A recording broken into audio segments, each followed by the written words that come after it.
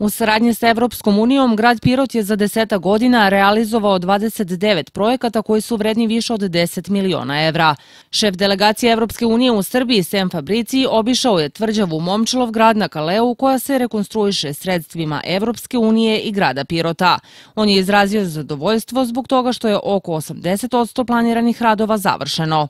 2016. godine grad Pirot je u saradnji e, sa Europskom unijom, odnosno preko projekata preko granične saradnje, e, realizovao tri projekta, neki su još u realizaciji, neki su realizovani. Ukupna vrednost tih tri projekata je milijona i 200 hiljada eura. Jedan od njih koji je i najznačajniji i po obimu investicija, da kažem i za neko naše kulturno nasledđe, je rekonstrukcija i konzervacija Momčilovog grada, odnosno Pirotske tvrđave. E, takođe znamo da je urađen projekat rekonstrukcije planinarskog doma u selu, u selu Dojkinci.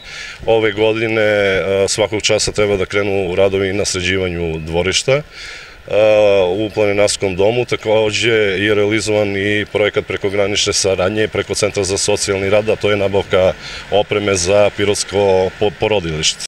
Grad Pirot realizovaće tri važna projekta koja će biti finansirama sredstvima iz projekta EU Pro da u narednom periodu preko EU Pro projekta i nekih drugih projekata, projekata grad Pirot participira, odnosno učestvuje sa realizacijom novih projekata.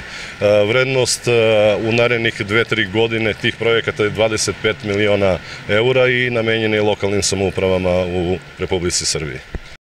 Šef delegacije Evropske unije u Srbiji Sem Fabrici je prilikom posete prihvatnom centru za migrante i izbeglice u Pirotu rekao da je Evropska unija sa gotovo 100 miliona evra od 2015. godine najveći donator Srbiji u upravljanju migracijama.